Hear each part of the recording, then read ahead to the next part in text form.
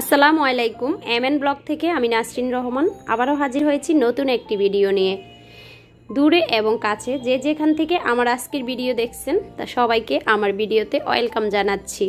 Welcome back to my channel.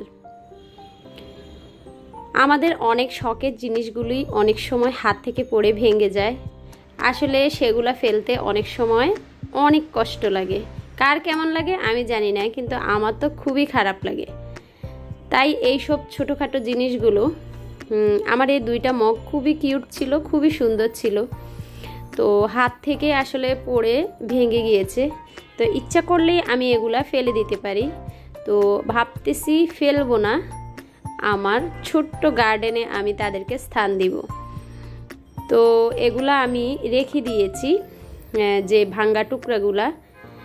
তো চলুন আপনাদেরকে সঙ্গে নিয়েই আমি ছোট্ট গার্ডেনের জন্য কিউট দুইটা মগটাকে সুন্দর করে একটু সাজিয়ে নিই। তো যারা রেগুলার আমার ভিডিও দেখেন, তাদেরকে আমি অনেক অনেক ধন্যবাদ জানাই।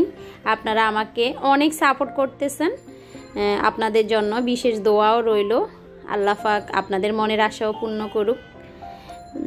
আসলে ইউটিউবে এগিয়ে যেতে হলে সবাই সবাইকে আসলে সাপোর্ট করতে হবে। আমরা যদি একে অন্যের পাশে আসলে দাঁড়াই, সহযোগিতা করি, তাহলেই সবাই মনের আশা পূরণ করা সম্ভব। বাকিটা তো আল্লাহাক আসি আমরা যখন চেষ্টা করে যাব, অবশ্যই আল্লাহাক আমাদের মনের আশা পূর্ণ করবে। তো সবাই আসলে কেউ এসেছে শখ করে, কেউ এসেছে তাদের কিছু আশা পূর্ণ করার জন্য। তো যারা আমাকে আমার চ্যানেলের প্রথম থেকে সাপোর্ট করতেছেন, আমি তাদেরকে আবারও ধন্যবাদ জানাই। তো ভিডিও দেখার আগে আপনারা লাইক দিয়ে দিবেন, অনেকে আসলে লাইক দিতে চায় না। আসলে লাইক দিলে হয় কি, আমার ভিডিওটা দ্রুত অন্যজনের কাছে পৌঁছে যাবে। আর সুন্দর সুন্দর কমেন্ট আপনারা করেন তার জন্য অনেক ধন্যবাদ। তাহলে আসলে ভিডিও করার উৎসাহ জাগে। তো কথা বলতে বলতে আমি আমার কিউট মগে কিন্তু গাছ লাগিয়ে দিয়েছি। আর আপনারা জানেন, আমি বড় একটা পাঁচ লিটার তেলের যে বোতলগুলো আছে, ওগুলাতে আমি এই মানি প্লান্টগুলো লাগিয়েছি। আর ওখান থেকে কেটে কেটেই আমি আসলে এটাতে ওটাতে গাছগুলো লাগাই। তো ডালটা আমার ধোয়া উচিত ছিল, ধোয়ার আগেই আমি লাগিয়ে দিচ্ছি। আর আঠা দিয়ে যখন আমি ভাঙ্গা টুকরাগুলো লাগিয়েছি তখন কয়েকটা টুকরা, যেহেতু ভালো করে এখনও আঠাটা জমে যায়নি, পড়ে যাচ্ছে। তো তা কিছু না, যেগুলো পড়ে যাচ্ছে আমি গাছ লাগানোর পরে আবার একটু আঠা দিয়ে চেপে রাখব, তাহলেই ঠিক হয়ে যাবে।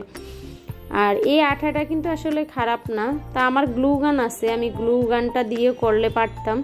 তা আমি এটা দিয়ে লাগিয়ে দিয়েছি। কেননা এগুলা আসলে আমি আরেকটা মগও লাগিয়েছি, এগুলা লেগে থাকে, ছুটে যায় না। তো মগে গাছ লাগানোর পরে তো আসলে অনেক সুন্দর হয়েছে। আর যেহেতু এটার মগের নিচে কোনো ছিদ্র নেই ডেজার্ট কোনো সিস্টেম নেই পানিটা বের হওয়ার, তাই বুঝে শুনে আসলে এই মগগুলাতে পানি দিতে হয়।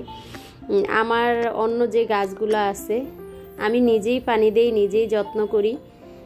আসলে নিচে ড্রেন ড্রেনের যে সিস্টেমটা ওটা যদি আসলে না থাকে আপনারা আসলে বুঝে শুনে একটু গাছে পানি দিবেন, তাহলে আর গাছ সহজেই মরবে না। তো এই তো কাছ থেকে দেখালাম। আপাতত আমি এখানেই গাছগুলো রাখব। ডাইনিংয়ের পাশে যেহেতু আমার এই সুর একটা, এটার উপর আসলে গাছগুলো রাখলে বাইরের একটু আলো বাতাস বেশি পায়। তো পরে আসলে যেখানে সেট করা সেট করব। তা আমার কাছে এটা খুব ভালোই লাগতেছে। গাছটা এটাতে সেট হয়েছে সুন্দর করে। তো গাছ লাগান শেষ, গাছ তো রেখে দিলাম। দুইটা দুই জায়গায় রেখে দিয়েছি আমি। তো এখন আমি আমার মানি প্লান্টের জন্য সুন্দর করে একটা লাঠি বানাচ্ছি। আমার মানি প্লান্ট দুইটাতেই আছে, দুইটা ঝাড়ে। তো যে জারটা আমার বাসার ভিতরে, তো আমি অনেক দিন ধরে চাচ্ছিলাম। যে অনলাইন থেকে এরকম একটা লাঠি অর্ডার করতে। কিন্তু আসলে করি করি আর করা হয় নাই। তো আজকে ভাবলাম নিজে একটু কষ্ট করি, তাহলে আসলে সুন্দর একটা কিছু হয়তো তৈরি হয়ে যাবে। তো এই তো আমি জুল জারুর যে লাঠিগুলো আছে, সেখান থেকে আমি এই টুকরাটা কেটে নিয়েছি। আর কয়েকদিন আগে আমি আসলে চটের যে বস্তাগুলা সালা বস্তা, চালের বস্তা, ওগুলো আমি ওই যে ম্যাট তৈরি করেছিলাম, এগুলো রয়ে গিয়েছে। তো এগুলাই এখন আমি লাঠিটাতে জড়িয়ে দিচ্ছি।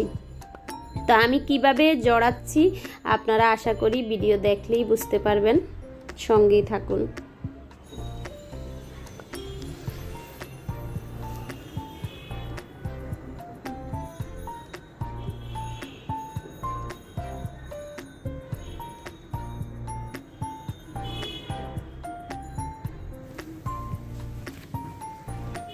তো এতক্ষণ আমি পুরাটা জড়িয়েছিলাম আর নিচে তো দেখতেই পেলেন পলিথিন দিয়েছি, যেহেতু এই অংশটা মাটির নিচে থাকবে, যেহেতু বাসটা সহজে নষ্ট না হয়ে যায়, তার জন্য আমি পলিথিন দিয়ে দিয়েছি।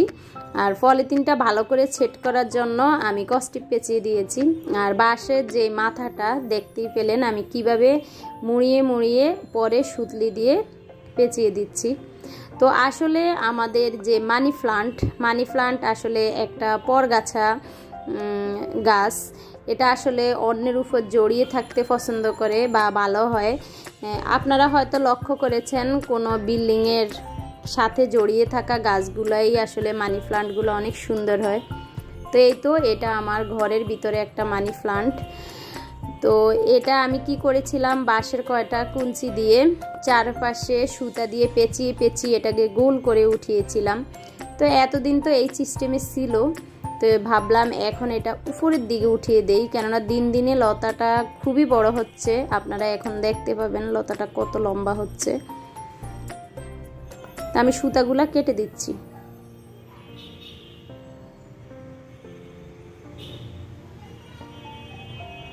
তো এই তো দেখতেই পাচ্ছেন কত লম্বা হয়েছে। তো মাঝখানে ওই যে একটা মোটা শিকড়ের মতো, এটাও আসলে আমার একটা ভাবি দিয়েছিল আমাকে, এগুলো হয়েছে একদম হ্যাঁ মানি প্লান্ট যেগুলা বড় বড় পাতা। তো এটা আসলে তেমন একটা হয় না, তারপর আমি ফেলব না এখনও এটা কাঁচা আছে। তো এই তো আমি লাঠির যে অংশটা পলিথিন দিয়ে মুড়িয়েছি, সেটা আমি টবের মাঝখানে এইভাবেই গেঁথে দিলাম। তো মাটিটা শক্ত হওয়াতে পুরাটা যায়নি। আমি আশা করেছিলাম যে পলিথিনের পুরো অংশটাই ভিতরে ঢুকিয়ে দিব। কেননা এটা আমি মাফও দিয়েছিলাম এই মাফে যে যতটুকু একদম তলা পর্যন্ত চলে যাবে। তো আচ্ছা যায় নাই। আর খুঁটিটা কিন্তু অনেক শক্ত হয়েছে, যেতটুকুই ভিতরে ঢুকেছে। তো এখন আমি নিচের অংশে একটু ঘুরিয়ে পেঁচিয়ে তারপর লাঠিটার সঙ্গে গাছটা জড়িয়ে দেওয়ার চেষ্টা করতেছি। কেননা জড়িয়ে দিলেই গাছটা সুন্দর দেখায়। তো দেখেন, এখন মনে হয় গাছটা আরও সুন্দর লাগতেছে আর যখন আরও ডালপালা বেয়ে বেয়ে উপরে উঠবে তখন আরও সুন্দর লাগবে। আমার কাছে তো খুবই ভালো লাগতেছে। আপনাদের কাছে কেমন লেগেছে অবশ্যই আমাকে কমেন্টস বক্সে কমেন্টস করে জানাবেন। সবাই ভালো থাকবেন, সুস্থ থাকবেন। আল্লাহ হাফেজ।